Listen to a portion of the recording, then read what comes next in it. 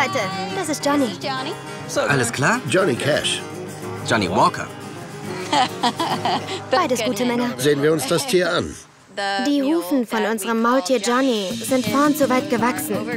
Deswegen läuft er auf dem weicheren, hinteren Teil seiner Hufen. Dadurch hat er jedoch die ganze Zeit Schmerzen. Vor allem an den vorderen beiden Läufen. Hoffentlich können die Ärzte helfen. Was hat er? Er kann nicht laufen. Als ich ihn fand, lag er auf der Straße. Sein damaliger Besitzer wusste gar nicht, dass er weg war. Okay. Er hat den auch nicht gefüttert.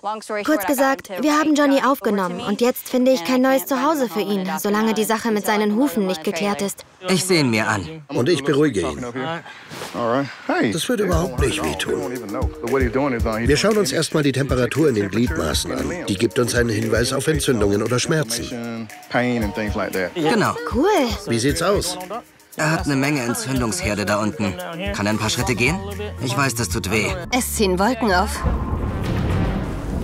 Ich hoffe, wir sind fertig, bevor es regnet.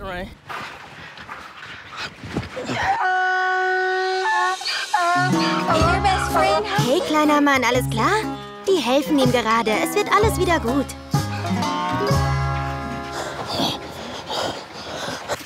Halt still. Alles gut? Ja. Singing in the Rain. Jetzt regnet's auch noch.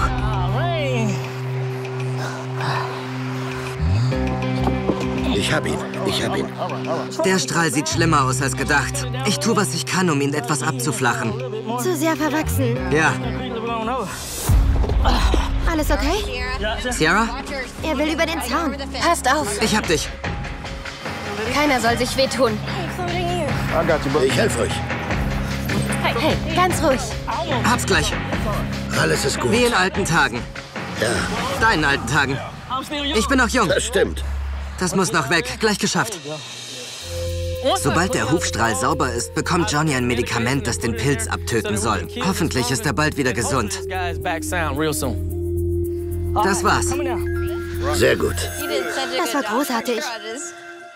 Wir werden noch ein paar Mal hier rausfahren müssen und ihm die Hufe schneiden.